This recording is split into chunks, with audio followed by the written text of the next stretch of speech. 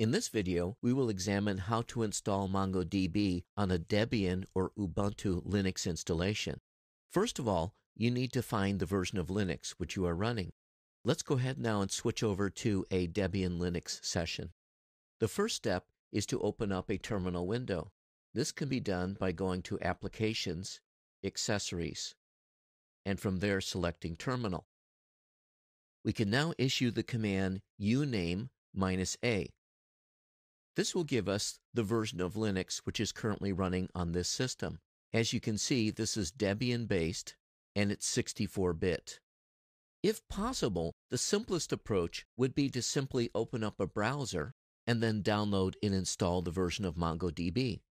From the built in browser, we go to the mongodb.org website. From there, we select Downloads and we pick the version of Linux which is appropriate for our installation. In this example, we've got the 64-bit version and the 32-bit version. Because we are running a 64-bit version of Linux, we would select the 64-bit version. We could then save the file, shortening the download time for the purposes of this video. The file now has been saved. We can then double click on it, extract the contents to the appropriate place, and then perform the setup procedure from there. The installation procedure is well documented at docs.mongodb.org slash manual slash tutorial slash install dash mongodb dash on dash debian slash.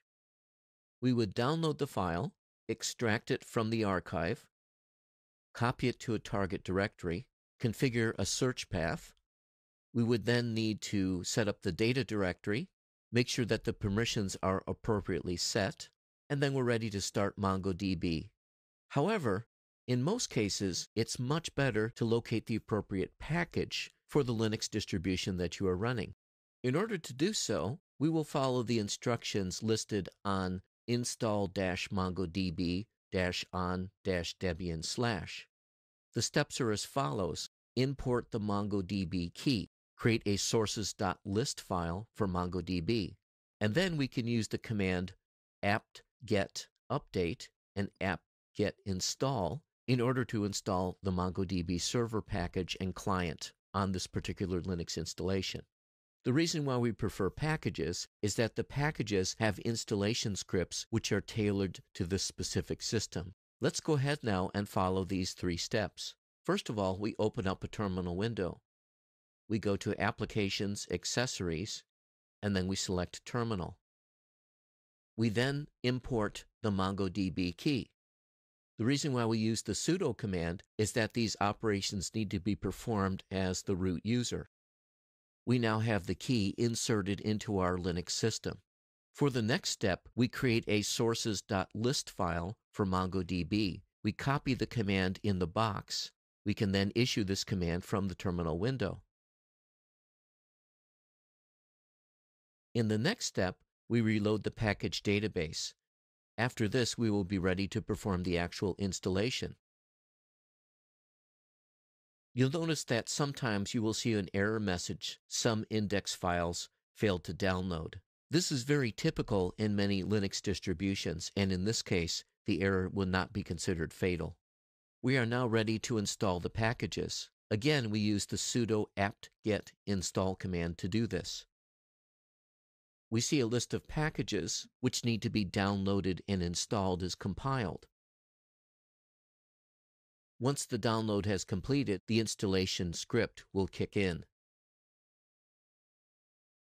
Notice that by default, there's a user called MongoDB and a group called MongoDB, which is installed into this Linux distribution. The installation script also automatically starts the MongoDB database instance. To stop the MongoDB database instance, you simply type sudo service mongodb stop. To start it, you do the same thing, except you use the keyword start. And finally, to restart, you use the same sequence, except you would say restart. This is necessary if you change the MongoDB configuration. Configuration will be covered in a separate video. To test the installation, let's connect to the MongoDB instance we simply type in Mongo. This gives us access to the MongoDB shell. From there, we can access the built-in default database. We type in use mydb. We can now save a test document. This will create a document with a field A, which has a value of 1. We can now locate the document to verify that the save occurred properly. To do this, we type in db.test.find, open close parentheses. You'll notice we have an object ID, which is randomly generated, a field A with a value of 1. We can then type in exit to leave the database shell. The installation for Ubuntu is identical to the installation which we just went over. The difference is that modern versions of Ubuntu use a facility called Upstart. This is in place of the old style init.d start and stop scripts. Notice some other differences. The location of the distribution source is slightly different. It's under repo ubuntu-upstart rather than the installation which was indicated as part of the Debian instructions. You'll also notice that for Ubuntu, you use sudo service mongodb start, stop, and restart However, these commands work just as well on any Debian installation. So in review, for installing MongoDB on Debian or Ubuntu Linux, first of all, make sure that you find the appropriate version of Linux which is running on your system. To do this, you can type in uname space minus a from a terminal window. Be sure to pay attention to whether it's 32-bit or 64-bit. You can then simply download from the browser double click on the completed file name, extract to the appropriate folder, create the MongoDB user, create the slash data slash db folder, and then assign ownership to the MongoDB user. However, it's probably better to use the appropriate package. For Ubuntu Linux, you would first of all import the MongoDB public key. You would then need to configure your software sources list. Notice that the repository is under Ubuntu-Upstart.